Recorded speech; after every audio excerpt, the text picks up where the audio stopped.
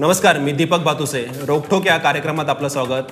आज आपण रोकठोकमध्ये चर्चा करणार आहोत ती नागपूरमध्ये निघालेल्या जन आक्रोश हल्लाबोल मोर्चाची. काँग्रेस आणि राष्ट्रवादी काँग्रेसच्या या मोर्चामध्ये थेट टीका होती ती भाजप सरकारवर पंतप्रधान नरेंद्र मोदीवर आणि मुख्यमंत्री देवेंद्र फडणवीसवर. या सरकारला विरोधकांनी आज खोटं सरकार म्हटलं आहे वारंवार शेतकऱ्यांना खोटी आश्वासनं भाजपने दिली. अशा पद्धतीचा आरोप या मोर्चामध्ये काँग्रेस आणि राष्ट्रवादी काँग्रेसच्या नेत्याने दिला. तर दुसरीकडे राष्ट्रवादी काँग्रेसचे अध्यक्ष शरद पवारांनी थेट शेतकऱ्यांना सरकार विरोधात असहकार पुकारण्याचं आवाहन आहे हे असहकार कसलं आहे? तर शेतकऱ्यांनी सरकारची कुठलीही देणी देऊ नयेत. कुठल्याही पद्धतीचं वीज बिल शेतकऱ्यांनी भरू नये. अशा पद्धतीचं आव्हान जे आहे ते शरद शरद पवारांनी केलं आहे या सगळ्या प्रश्नांवरती आपण आजच्या रोकटोकमध्ये चर्चा करणार आहोत. आणि रोकटोकचा विषय आजचा आहे हल्लाबोल पुण्यासाठी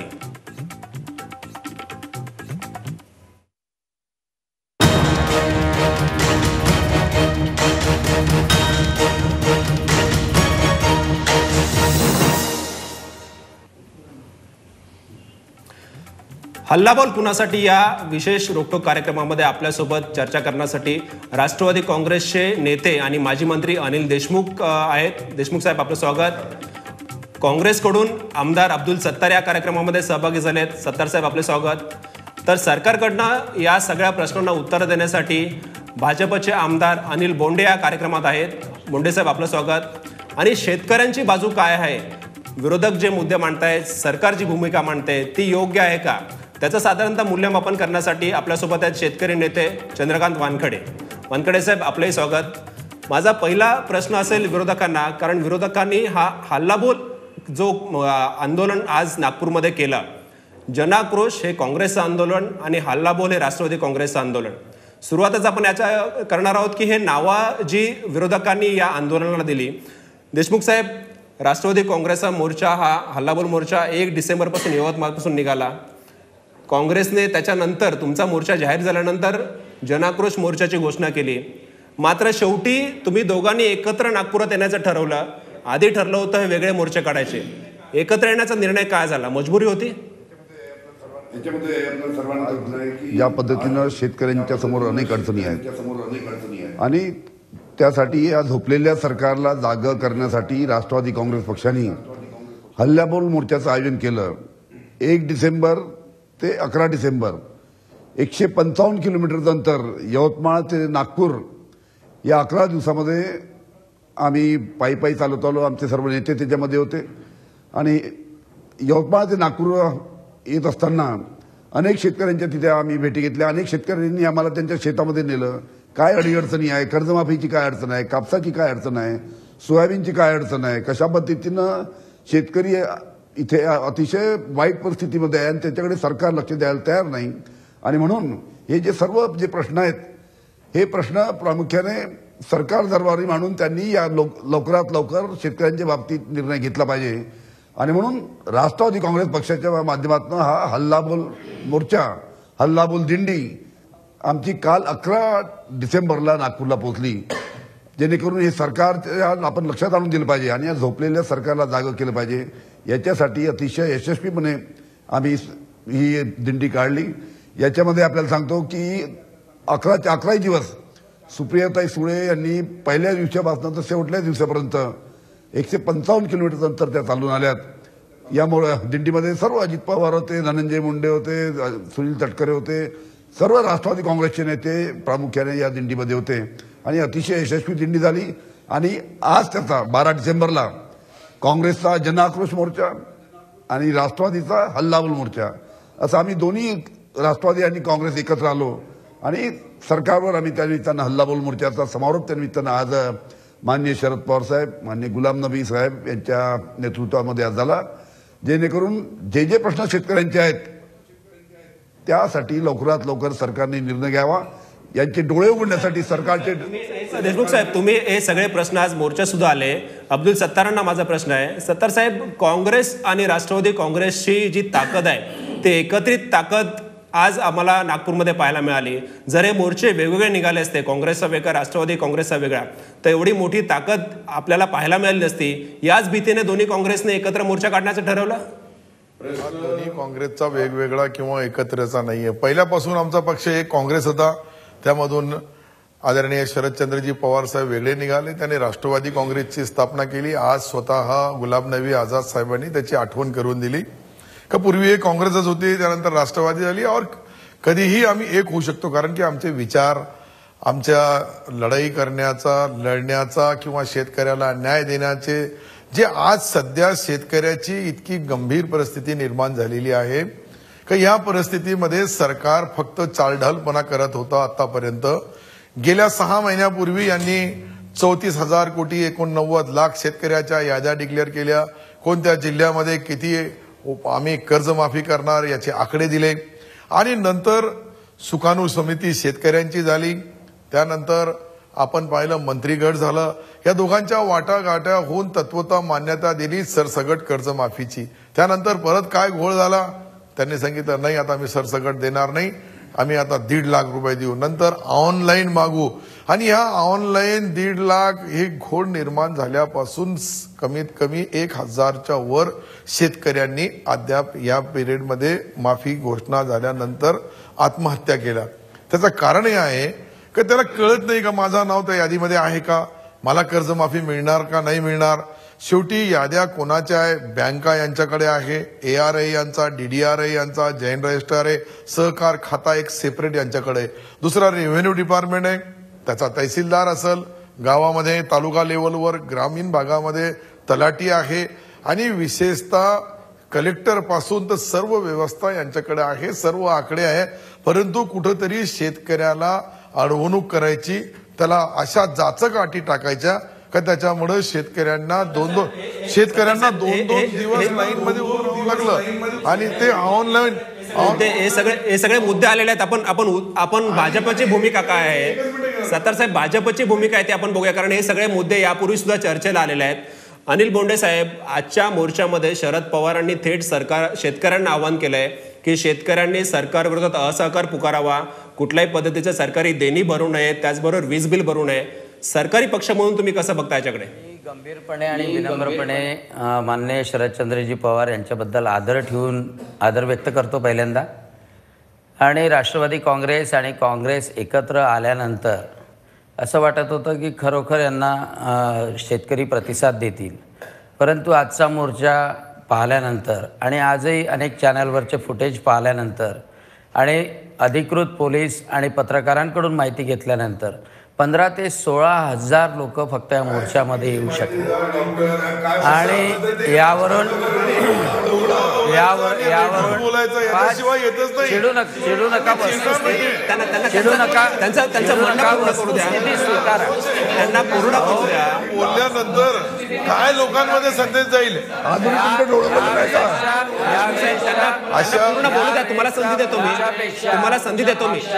अशोकराव चव्हाण यांच्या नेतृत्वात निघालेला मोर्चा तरी बरा होता असं म्हणावं लागेल. आणि याचाच अर्थ असा आहे याच याचाच अर्थ असा आहे अहो अनिलराव डोळे उघडायचे नाही उघडायचे पहा याचा प्रश्न विचारलेला आहे की शेतकऱ्यांनी शेतकऱ्यांचा अजूनही तुमच्यावर विश्वास नाहीये. कारण तुमचं तुमची कर्जमाफीची ऑब्जेक्शन कुठे? ऑनलाईनवर कारण मागच्या वेळेला कर्जमाफी झाली होती त्या कर्जमाफीमध्ये ज्या पश्चिम महाराष्ट्रातल्या त्या शेतकऱ्यांचं पाच पाच दहा दहा लाखाचं ट्रॅक्टरचं कर्ज माफ करून घेतलं गेलं. आत्महत्या झालेल्या विदर्भातल्या पाच एकरापेक्षा जास्त असलेल्या शेतकऱ्यांना वंचित केल्या गेलं आणि या कर्जमाफीच्या माध्यमातून दीड लाख सरसकट कर्जमाफीचा अर्थच आहे का विदर्भामधले मराठवाड्यामधले बहु एकर असणारे शेतकरी सुद्धा सुटले नाही पाहिजे. आणि आणि सर्वात महत्त्वाचे ते सांगतो ना डिटेल मध्ये सांगतो. आणि म्हणून आणि म्हणून आज शेतकऱ्याचा तुमच्यावर विश्वास नाहीये. तुमच्या मोर्चामध्ये यायला तयार नाहीये. लोक लोकसत्तामध्ये आज आलं सुप्रिया सुळेंच्या सुप्रिया सुळेंच्या नेतृत्वात सुप्रिया सुळेंच्या नेतृत्वात दोनशे पन्नास लोक होते आणि दोन हजार लोकांची वाहतूक गेली. तुमच्यावर विश्वास तुम्हाला तुम्हाला वानकडे साहेब वानकडे साहेब हा जो सगळा गोंधळ आपण ऐकलात हा जो हा जो गोंधळ ऐकलात वस्तुस्थिती स्वीकार दोघे दोघांनाही माझी विनंती आहे दोघांनाही विनंती आहे तुम्ही शांत व्हा. तुम्ही तुम्ही भूमिका मांडा भूमिका मांडा वाद घालू नका. भूमिका मांडवा वाद घालू नका. शरद पवार साहेबांना गुजरातमध्ये त्यांचं सहाय्य घेत नाही आणि मोर्चासाठी सहाय्य घेत प्रेक्षक हो प्रेक्षक हो. प्रेक्षक हो शेतकऱ्यांच्या मुद्द्यावरती किती पोटतिडकडी आहे विरोधकांना आणि सरकारलाही आपण बघतोय. वानखडे साहेब वानखडे साहेब बोंडे साहेब बोंडे साहेब बोंडे साहेब हे राजकीय विषय नको शेतकऱ्यांच्या विषयावर आपण चर्चा करूया शेतकऱ्यांच्या विषयावर चर्चा करूया. वानखडे साहेब शेतकऱ्यांचा विश्वास नाही वानखडे साहेब, टाकतात हे शेतकऱ्यांना माहीत आहे. वानखडे साहेब ही सगळी चर्चा ऐकली तुमचा तुमच्या याच्यावरती काय म्हणणं आहे? मी मी संधी देतो मी सगळ्यांना संधी देतो जीवन चांगलं करायचं काम अहो एवढ्या वर्ष एवढ्या वर्षात तुम्ही केलं नाही म्हणून द्या म्हणून आजही आत्महत्या होतं का? आजचा बाप आहे तुमचा बाप आहे तो. अरे. ते पाप तुम्ही करू शकले नाही. तीन वर्षामध्ये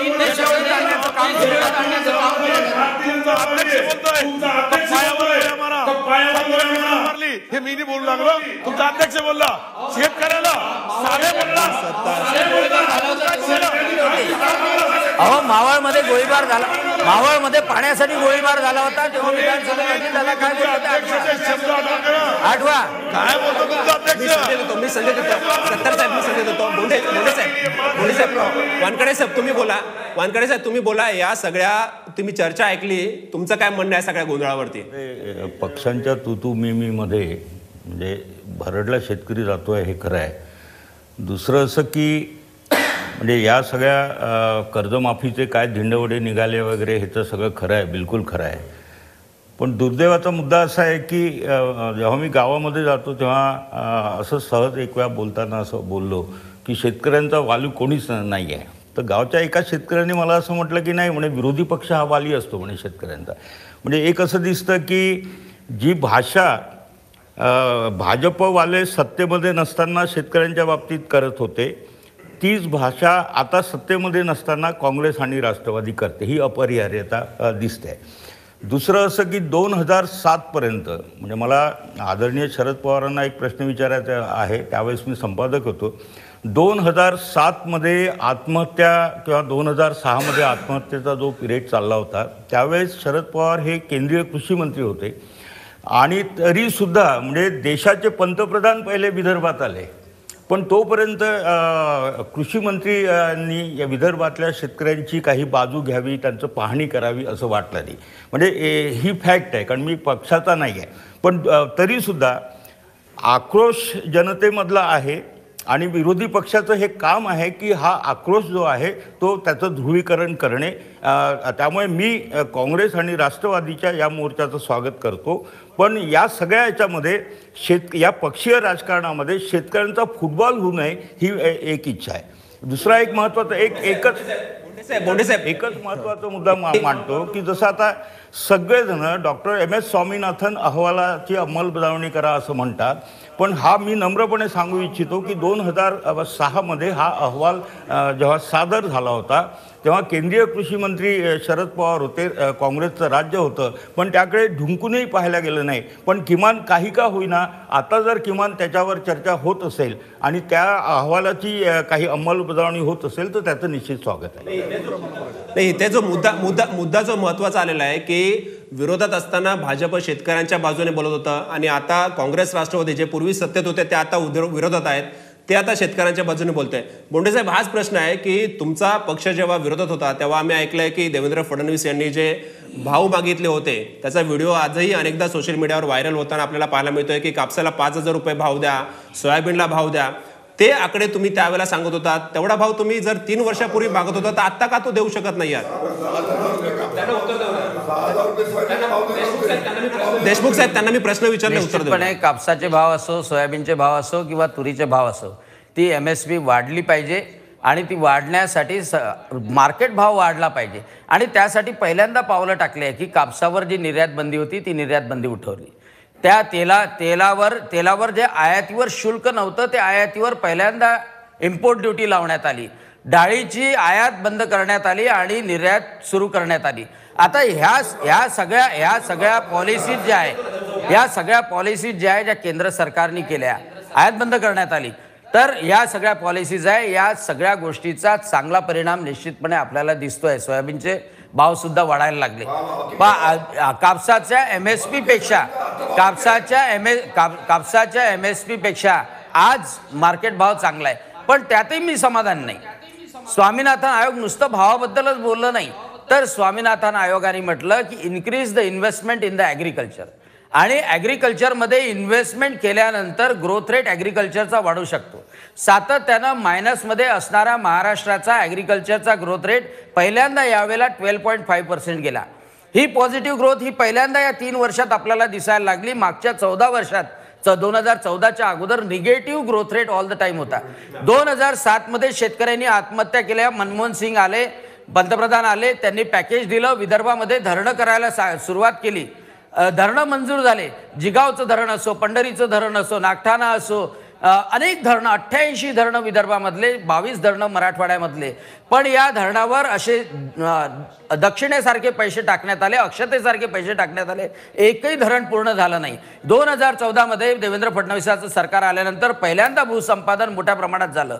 आणि आज धरणं जून दोन हजार अठरापर्यंत जलसाठा करणे आणि जून दोन हजार एकोणीस पर्यंत प्रत्येक शेतकऱ्याला शेतकऱ्यापर्यंत पाणी पोहोचवण्यासाठी भले बळीराजा जल संजीव दीपकराव जल मला थांबू नका हे हे संभ्रम पसरवतात हे दूर करणं आवश्यक आहे.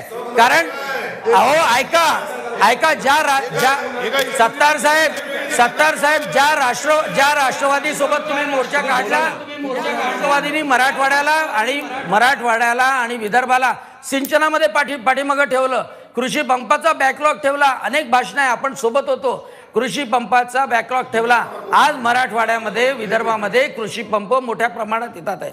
आणि म्हणून साठ वर्षात तुम्ही केलं नाही आम्ही तीन वर्षात करायला लागलो. म्हणून तुमचा पोट पोटशूळ आहे का? म्हणून तुमचा जनाक्रोश आहे का? देशमुख साहेब त्यांनी जो मुद्दा मांडला आहे की शेतमालाचे भाव वाढलेले आहेत निर्यात दर निर्यातवर बंदी जी घातली त्या बंदीचा फायदा होतो तुम्ही यवतमाळपासून नागपूरपर्यंत पदयात्रा केली बंदी उठवली. तुम्ही काय सांगा. चंद्रकांतजींनी जो मुद्दा मांडला त्याच्याबद्दल बोलतो मी. की दोन हजार सात आठमध्ये शेतकऱ्यांवर अनेक प्रकारचे संकट आले होते. की त्यावेळेचं पी व्यवस्थित पीक होत नव्हतं काप- कापसाचं उत्पन्न कमी झालं होतं सोयाबीनचं उत्पादन कमी झालं होतं. आणि अशा वेळेस त्यावेळेस ज्या आत्महत्या होत होत्या त्यावेळेस स्वतः मनमोहन सिंग जिथे आले होते शरद पवार साहेब वर्धामध्ये आले होते. त्यांनी अनेक गावामध्ये भेटी दिल्या शेतकऱ्यांची चर्चा केली. आणि चर्चा केल्यानंतर त्यांनी हा निर्णय घेतला की शेतकऱ्यांना आपण कर्जमाफी दिली पाहिजे. पंधरा दिवसामध्ये कर्जमाफी जाहीर केली. एक मिनिट ऐका. पंधरा दिवसा पंधरा फायदा पश्चिम महाराष्ट्राला पंधरा दिवसामध्ये कसं जाहीर आदरणीय म्हणा. पंधरा दिवसामध्ये कर्जमाफी जाहीर कर्जमाफी जाहीर केली आणि शेतकऱ्यांना पैसे दिले. आज काय परिस्थिती आहे? मला एक सांगा. पहिली गोष्ट देवेंद्र फडणवीस जेव्हा भारतीय जनता पार्टीचे महाराष्ट्राचे अध्यक्ष होते ओ त्यावेळेस हे देवेंद्र फडणवीस सांगत होते की भारतीय जनता पार्टीचं सरकार आलं की आम्ही सात हजार रुपये कापसाला भाव देऊ. भारतीय जनता पार्टीचं सरकार आलं की आम्ही सहा हजार रुपये सोयाबीनला भाव देऊ. आज कर्जमाफी यांनी जाहीर केली. मी आपल्याला सांगतो की कर्जमाफी जी जाहीर केली याच्यामध्ये मी एकच जाहिरात तुम्हाला दाखवतो. अकरा जुलैला कर्जमाफी जाहीर केली. सहा महिन्याचे काल झाले. ही ऍडव्हर्टाइजमेंट आहे मी लाभार्थ्याची. सत्तारबाई ही लाभार्थ्याची एकतीस ऑक्टोबरची ऍडव्हर्टाइजमेंट आहे. आजची तारीख आहे बारा डिसेंबर. या एकतीस एकतीस ऑक्टोबरच्या ऍडव्हर्टाइजमेंटमध्ये मी लाभार्थीच्या ऍडव्हर्टाइजमेंट सरकारने लिहिलाय. मुद्दा की नव्वद टक्के शेतकऱ्यांचा सातबारा आम्ही कोरा केला किंवा एक महिना बारा दिवस पहिले. आज काय? आज आज एका शेतकऱ्याचा सातबारा कोरा झाला नाही. आणि या मी लाभार्थीच्या ऍडव्हर्टाइजमेंट तुम्ही खोटं बोलता. लोकांची दिशाभूल करता तुम्ही. ऐका तुम्हाला बाह्य ऍडव्हर्टाइजमेंट पहा. आणि दुसरी गोष्ट चंद्रकांतजी आपण जे बोलला आम्ही जी दोन हजार सात आठमध्ये काँग्रेस आणि राष्ट्रवादींची कर्जमाफी दिली होती आणि ती कर्जमाफी मिळाल्यानंतर आत्महत्येचं प्रमाण कमी झालं होतं महाराष्ट्रामध्ये. ही वस्तुस्थिती आहे. आणि वानखडे साहेब तुम्हाला मुद्दा मांडायचा आहे काय? नाही नाही, हे बरोबर आहे. हा सुद्धा मी याच्यासाठीच हे म्हटलं की हे मी मान्य करतो. हे तर ऑक्टोबरचे हे सांगतात की छप्पन इंच छाती त्यांची आहे भाजपची. कारण जेव्हा दिलीच नव्हती तेव्हा सहा महिन्यापूर्वी मुख्यमंत्र्यांचं कर्जमाफी दिल्याचं अभिनंदन झालं होतं. म्हणजे याच्यासाठी निश्चितपणे हे आहे. आणि दुसरा मुद्दा असा माझा मुद्दा एवढाच आहे की प्रश्न जे काही आहेत म्हणजे यांनी साठ वर्ष राज्य केल्यानंतर काय केलं हे काँग्रेस अमुक तमुक हे भाजपवाले बोलतात. पण तीन वर्षामध्ये लोकांच्या नजरेमधून शेतकऱ्यांच्या नजरेमधून हे पार उतरलेले आहेत. म्हणजे यांच्या मोर्चामध्ये संख्या किती होती नव्हती याच्याशी काही हा संबंध नाही. आणि हा जो आक्रोश आहे हा आक्रोश एवढा होता की म्हणजे लांडग्याच्या म्हणजे आवतन जेवल्याशिवाय खरं नाही अशी अवस्था झाली आहे. आणि कर्जमाफी दिल्यानंतर सहा महिन्यामध्ये आत्महत्येची संख्या वाढलेली आहे. आणि अनिल देशमुखच्या या मताशी सहमत आहे की दोन हजार सातमध्ये आठ सातमध्ये कर्जमाफी दिल्यानंतर एक दोन वर्ष आत्महत्येचं प्रमाण निश्चितपणे कमी झालं होतं याच्याशी मी सहमत आहे. मूळ मुद्दा परत असा आहे की या सगळ्या याच्यामध्ये अतिशय बिकट म्हणजे मला देवेंद्रही माझे मित्र आहेत अनिल बोंडेही माझे मित्र आहेत अतिशय बिकट या- हे जे आकडे फेकाफेकी करतात ना म्हणजे सगळ्याचे भाव उतरत आहेत. एका बाजूला पाकिस्तान गुजरातच्या निवडणुकीमध्ये आहे आणि दुसऱ्या बाजूला पाकिस्तानमधून कांदा आयात झालेला आहे कांद्याचे भाव कमी करण्यासाठी. आणि आता साखरेचा भाव जो काही आहे तो नियंत्रणात ठेवण्यासाठी पाकिस्तानमधूनच हे येत आहे. म्हणजे मला अनेक शेतकऱ्यांच्या प्रश्नाची उत्तरं आजकाल अशी मिळायला लागली आहे की यवतमाळमध्ये शेतकरी किंवा महाराष्ट्रामध्ये शेतकरी आत्महत्या करत असेल त्याचा पाकिस्तानचा हात आहे.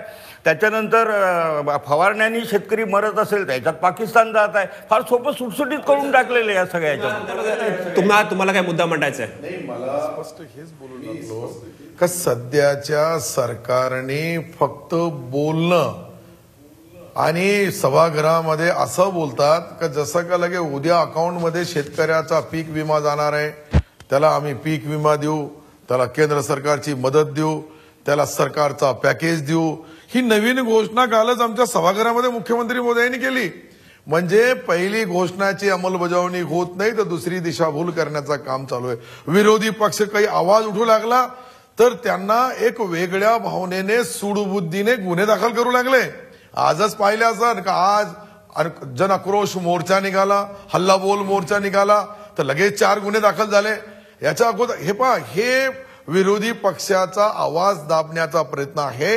आणि सामान्य शेतकरी शेतमजूर दलित पीडित गोर गरीब अनेक संघटना सर्व लोकांचे मोर्चे आंदोलन रस्त्यावर उसू लागले रस्ते रोखो करू लागले. आक्रोश जो जनतेमध्ये आहे याची जाणीव सत्तेमध्ये असलेल्या लोकांना नाही आहे आणि ही जाणीव करून देण्यासाठी शरद पवार साहेबासारखा एक या देशाचा ज्येष्ठ नेता ज्यावेळेस असे शब्द काढतो त्याच्या पाठीमागं त्या गरीब शेतकऱ्याची भावना आहे त्या शेतमजुराची भावना आहे. तो आज बोन अळीमुळं पूर्ण शेतकरी उद्ध्वस्त झालेला आहे. दहा दहा तास आम्ही त्या पोलीस स्टेशनमध्ये बसून शेतकऱ्याचे गुन्हे गुन्हे दाखल करायला करमाड पोलीस स्टेशनला आपल्याच टीव्हीमध्ये दाखवलं होतं. दहा तास बसले रात्रीच्या दोन वाजेला गुन्हा दाखल केला. याच्यावरून तुम्ही अंदाजा लावा की सरकार किती शेतकऱ्यांना मदत करणार आहे? नजरी पाहणी काढली. नजरी पाहणीमध्ये बहात्तर टक्के बासष्ट टक्के. एकीकडं आम्ही त्या सर्व या गोष्टीचा एक जाणीवपूर्वक त्याची चौकशी लावली. का कृषी अधिकारी मंडळाचे पूर्ण अधिकारी आणि कृषी विद्यापीठाचे तज्ज्ञ. या दोघांनी लेखी दिला आम्हाला. का बहात्तर टक्के नाही ऐंशी टक्के बोंडअळीमुळे नुकसान झालेलं आहे कापसाचा. मग यांची नाही मिनिटं मिनिटं घेणार एकच मिनिटं घेणार शेवटाचा. आणि ही कर्ज माफी असल आज त्यांना माहीत आहे का शेतकऱ्याला आता पीक विम्याचे पैसे द्यावं लागल. म्हणून फुगवण्याचा कार्यक्रम चालू आहे का? पीक विमा कंपनीला हे कुठंतरी संरक्षण देऊ लागले का?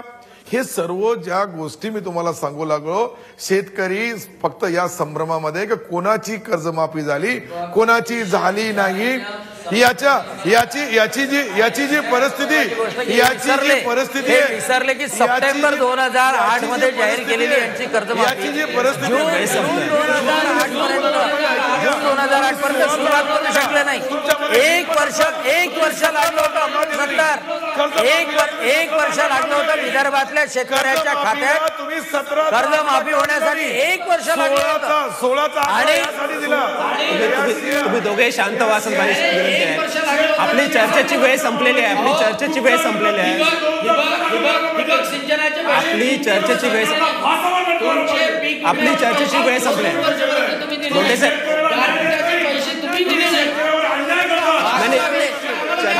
चर्चेची वेळ आपली संपलेली आहे. प्रेक्षक हो प्रेक्षक हो विरोधक आणि सत्ताधारी किती पोटतिडकीट प्रेक्षक हो. प्रेक्षक हो, विरोधक आणि सत्ताधारी किती पोटतिडकीने शेतकऱ्यांचे प्रश्न या ठिकाणी मांडतात आपण बघितले. देशमुख साहेब मला थांबावं लागेल वेळ संपलेली आहे. प्रामुख्याने या ठिकाणी विरोधकांनी मुद्दे मांडले सरकार विरोधात आणि सरकारने त्याची उत्तर दिली. परंतु शेतकऱ्यांच्या जीवनात काय फरक पडणार आहे हा खरा प्रश्न आहे. आपण बघितलं जेव्हा भाजप विरोधात होते तेव्हा शेतमालाला भाव द्यावा अशी पोटी पोटतिडकीने मागणी केली जात होती दिंड्या काढल्या जात होत्या. आज काँग्रेस राष्ट्रवादी काँग्रेस विरोधात आहे. ते दिंड्या काढतात शेतकऱ्यांच्या प्रश्नावरतून. परंतु शेतकऱ्यांचे प्रश्न कायम आहेत. काँग्रेसच्या काळात शेतकऱ्यांच्या आत्महत्या होत होत्या. भाजपने कर्जमाफी जाहीर केल्यानंतर जवळपास दीड हजार शेतकऱ्यांच्या आत्महत्या झालेल्या आहेत. त्यामुळे शेतकऱ्यांच्या आत्महत्या काही थांबत नाही आहेत किमान सरकारने जी कर्जमाफी जाहीर झालेली आहे ती वेळेत करावी त्यामुळे शेतकऱ्यांना दिलासा मिळेल. दुसरीकडे वीज बिल जे थकीत आहे त्यामुळे अनेक शेतकऱ्यांची वीज कापली जाते. आता पवारांनी तर थेट आव्हान केलंय की तुम्ही वीज बिल भरू नका. या सगळ्या राजकीय मुद्द्यांवरती शेतकऱ्यांना न्याय कधी मिळणार? या सगळ्या या प्रतीक्षित शेतकरी आपल्या राज्यातला आहे.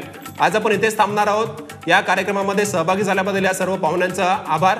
आपण पाहत राहा रोक जी चोवीस तास एक पाऊल पुढे.